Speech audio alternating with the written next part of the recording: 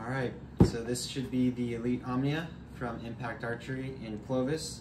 We're gonna open it with the QAD pocket knife.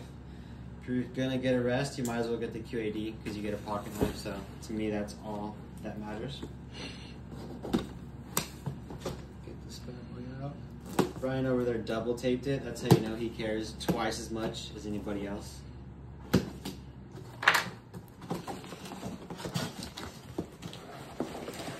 And we get a hat.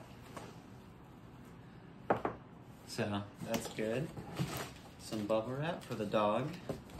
And then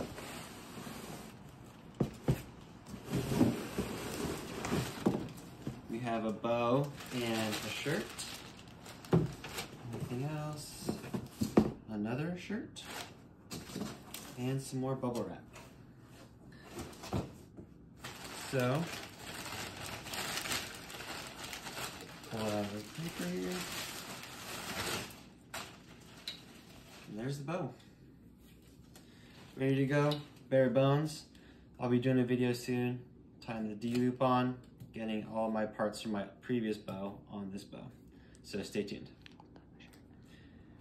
And we'll show off the sweet shirt from Impact Archery. Oh sweet, I love long sleeves, so nice red, really sticks out. And then we got the logo on the back, a little bit on the sleeves. It's funny that Brian sent a red shirt because I'm red green colorblind, so I'll have to tease him about that one. So again, stay tuned. We're gonna do a build with this in the near future.